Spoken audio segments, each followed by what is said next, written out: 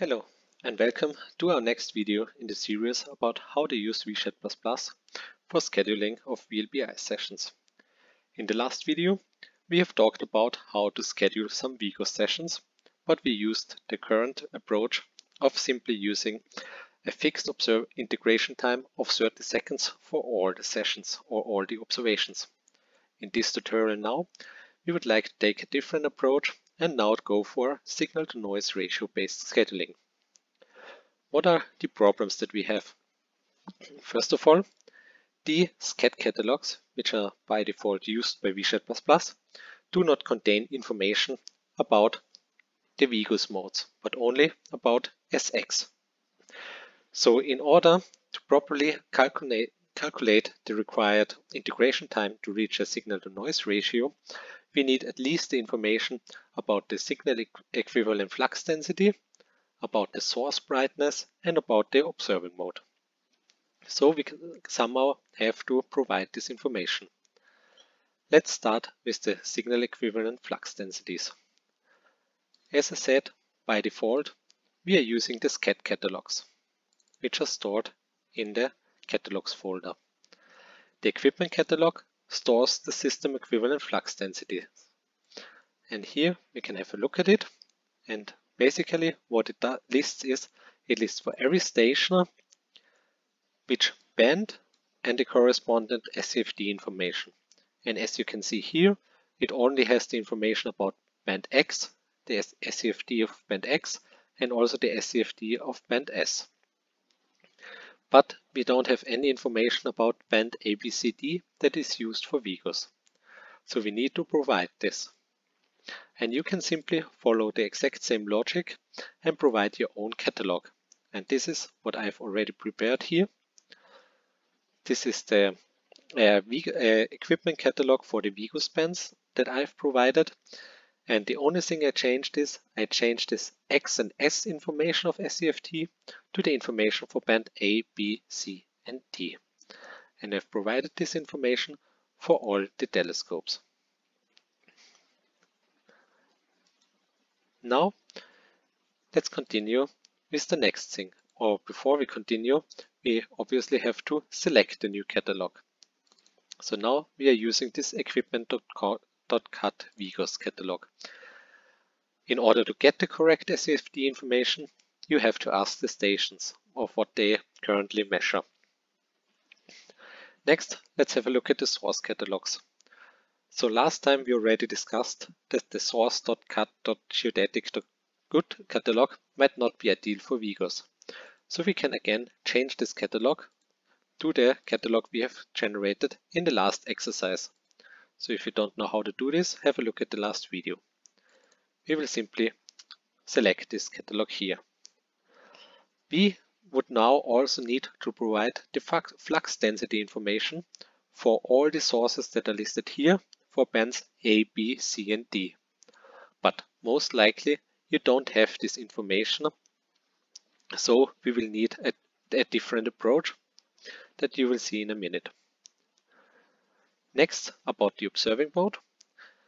As I said you, I told you, there is no VGOS observing mode in the current catalogs. Therefore, we also have to use a different approach.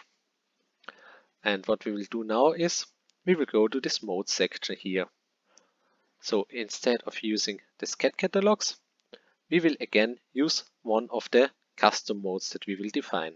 For example, we can simply use this simple custom mode because it includes all the necessary information that you need in order to generate a proper schedule.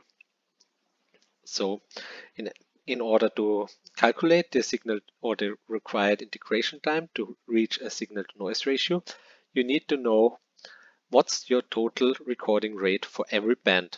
So we need to have to provide this information. What we have told the software here is that we have four bands named A, B, C, and D.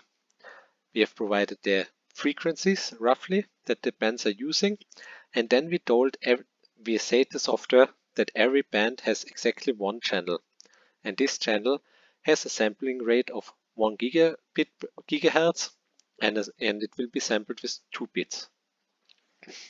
In total, this means that band A would have two, would be observed with 2 gigabit per second and since we have 4 band, the total recording rate would be 8 gigabit per second. So this is all the information that is required for the scheduling software to properly calculate the integration time. Of course, you can also provide the exact number of channels you have here and the exact um, sampling rate, but this is more or less unnecessary because in the end, this is the information it needs. Additionally, down here, you can define your signal to noise ratio that you would like to achieve. Since this is for every band, it's probably sufficient to go down a little bit. So probably you don't need a signal to noise ratio of 20 for all the four bands and you can re reduce it a bit. In this tutorial, I will reduce it to 15. Next, there are a couple of options on how to define how we should VieSched++ Plus should handle missing values. For example, for the stations, missing values would be missing SEFD information. And we defined that for the stations, the SEFD information has to be required. So we have to provide it and we already did this. So we can leave this as it is. However, for the sources, we have not provided uh, flux density values because we are lacking the information. So what we can do here now is, or what we have to do is, that we change this required to optional. Because otherwise, since this information is would be required, it would not find any source that has all the information, so it would not be able to generate a schedule because it would not have any source in the end. By changing it to optional, we can provide this information. And here we will use an internal model to calculate the flux densities of band A, B, C, and D based on their flux density of base of band S and X that is in the catalogs.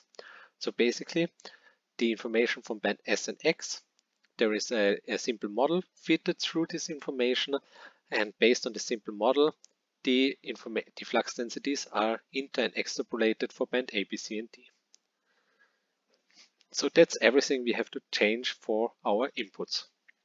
Now we can go to the, to the general setting and here we can load the VGOS set session that we would like to schedule. I will simply pick the next VGOS session.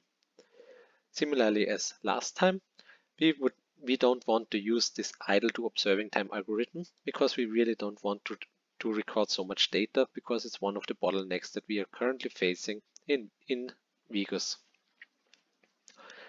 Next, we can have a look at our station network. So this session is with nine stations, which is fine. But now we really have to focus on the parameterization.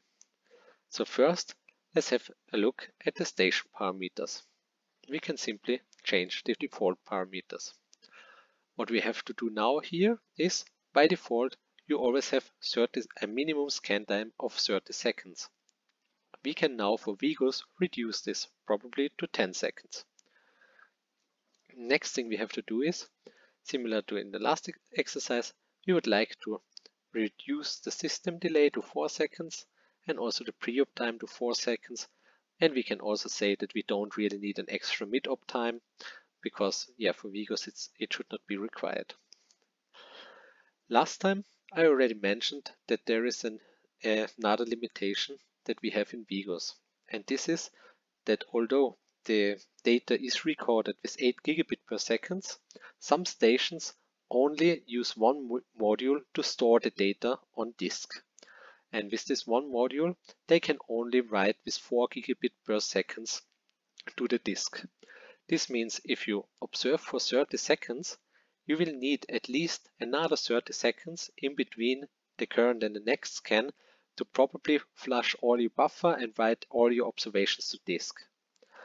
In the last exercise, we could simply use a minimum slew time to account for this because we always knew that all our observations will be 30 seconds long. However, in this exercise or in this example, we will not have this situation because we are using a signal to noise ratio based scheduling. What we can do here or what we have to provide is we have to provide the information on what's the recording rate to write your observations to the disk. And we can use this and I will select here 4 gigabit per second. It should be correct. Next, for VGOS, we also obviously, we don't want to have very long scans, not 600 seconds long at least. So I will reduce this drastically to maybe only 60 seconds or no, I will go to 45 seconds. I think this should be enough. Okay, these are all the station-based settings that I have to do. So that's done. Now let's go to the source-based settings. And also here you can adjust whatever you would like. So for example, here I will change that the minimum time between two scans to the same source should be only 20 minutes and not 30 minutes, but that's up to you. Next, you would do uh, you would try to set up a proper balance between the weight factors and probably you would use the multi-scheduling tool for this purpose. But we have gone, gone through this in multiple previous videos so I will not demonstrate it here again to save some time. But if you're interested in how to do it, because it's a very essential and important step, have a look at some of the previous videos. However, what we will do is we will go to the simulator tab and we enable simulations. And similarly to last time, I've already noted that these settings that are by default used are good for SX sessions, but not for VGOS. So you can simply load some of the 24-hour VGOS sessions. And this mainly changes the amount of white noise that you're adding to your session. But of course, you can adjust it as you wish and you can also have a look at the estimated parameters. Maybe for VGOS, you would like to estimate some of the parameters more frequent. For example, you would maybe want to write to estimate the gradients also or every 30 minutes and probably you would also like to estimate your zenith wet delay more frequent, maybe only only 50 minutes, but that's up to you and it's really how you would like to analyze your session in the simulations.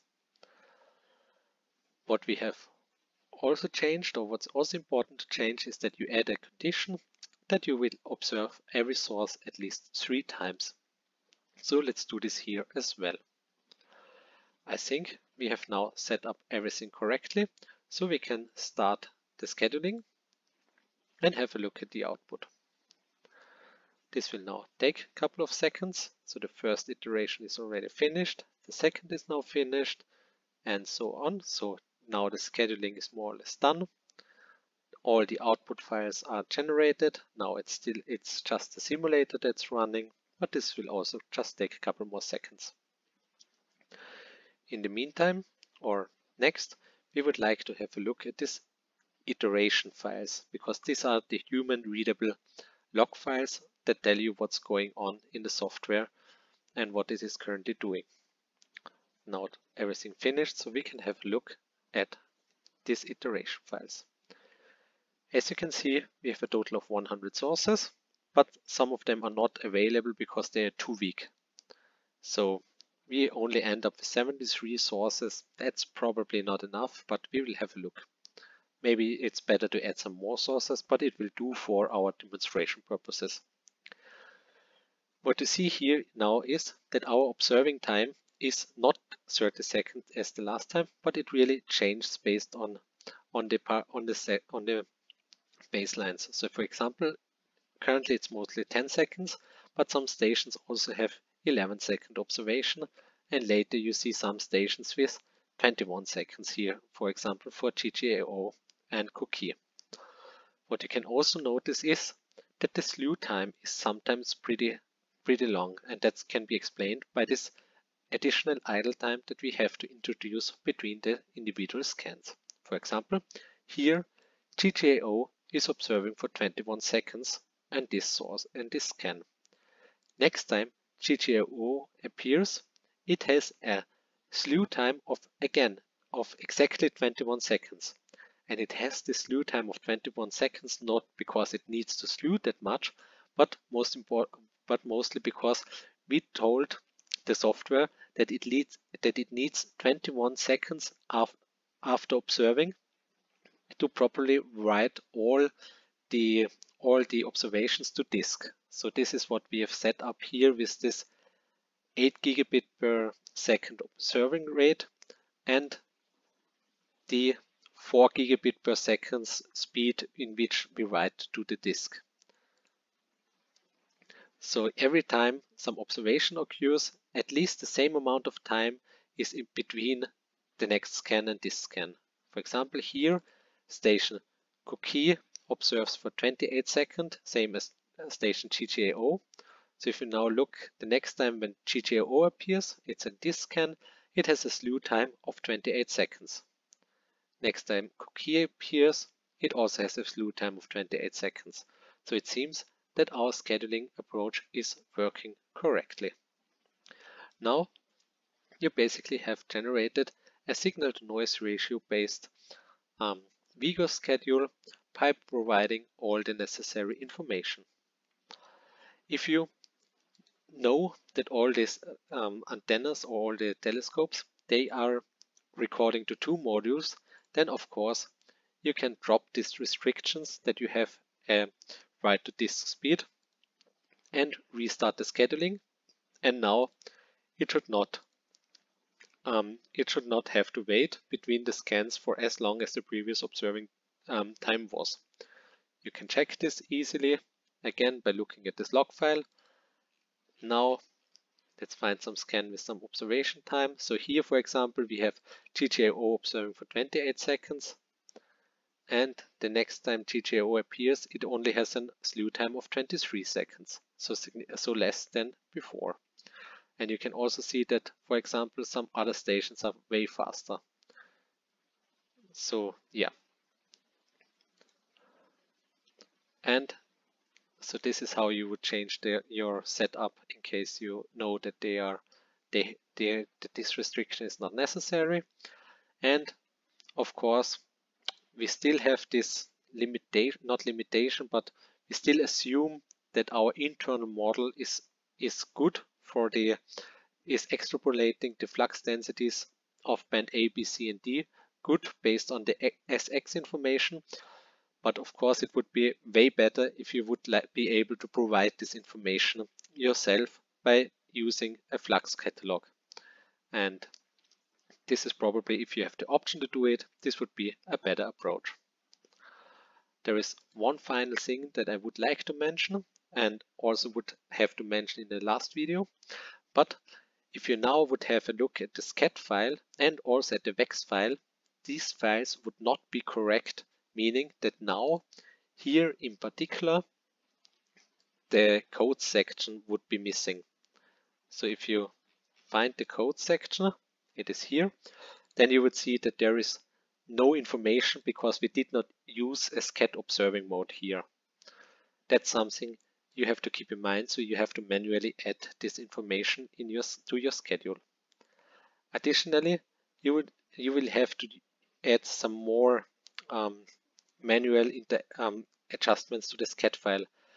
Most importantly, there should be a broadband block which lists the, the values from the from the VGOS observing mode and at the there also should be a PROCS block. This is something or in these blocks there is all the necessary hardware setup for VGOS is provided but unfortunately this information is not yet in any of the SKED catalogs. So if you really would like to to analyze or to generate a real schedule for VGOS, the easiest way to do is to look at some of the VGOS session that you know worked and have a look at the SKED file that was used there. And in here, you for example see the broadband block and how it looked like. So you can simply copy paste it to your file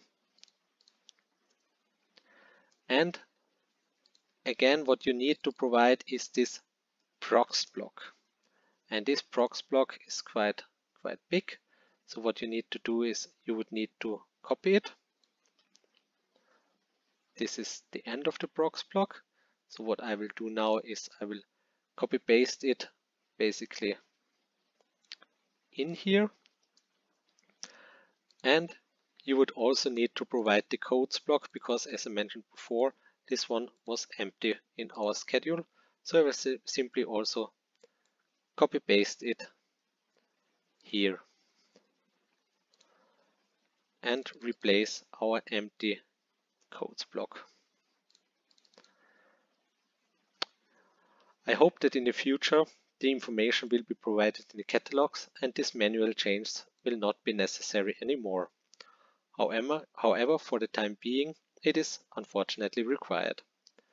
Still, it would be best to send this schedule file to the stations prior to the session and really ask them if they can properly drudg it because there might be some some more information written in here which is not readable by some of the other software packages. For example, some packages might not understand what band A, B, C, and D mean, and some other say parameters, um, software packages might not understand what the SEFD information that we have provided here mean, so that we have four entries for band A, B, C, and D. So unfortunately, this is still a little bit finicky to set up, but as soon as you have done it once and the station once confirmed that it's working properly, you can use this kind as kind of a template and simply copy paste the blocks back and forth. Yeah, but as I said, I really hope that we will find a better solution in the near future, that this will be automatically done for you and you don't have to do it manually. In any case, this was everything from my side for this tutorial and I hope I see you for the next one.